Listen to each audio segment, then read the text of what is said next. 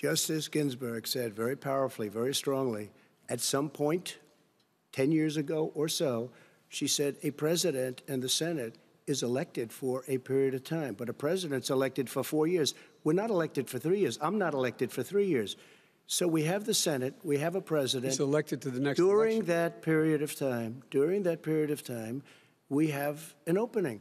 I'm not elected for three years. I'm elected for four years. The and the election's 100 started. people, Joe, the 100 million people is totally wrong. I don't know where you got that number.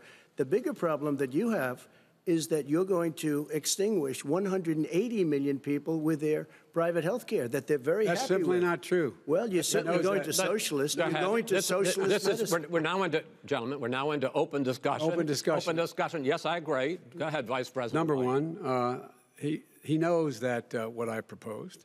What I proposed is that uh, we expand Obamacare and we increase it. We do not wipe any. And one of the big debates we had with 23 of my colleagues trying to win the nomination that I won were saying that Biden wanted to allow people to have private insurance still. They can. They do. They will under my proposal. not what you've said, But and it's not what your is- party has said. that is simply your party doesn't say it. Your party is wants to go socialist My party is and me. socialist Right healthcare. now, I am and the they're going to dominate Party. you, Joe. You know that. I am the Democratic Party right now. The platform of the Not Democratic Party Harris. is what I, in fact, approved of. What I approved of.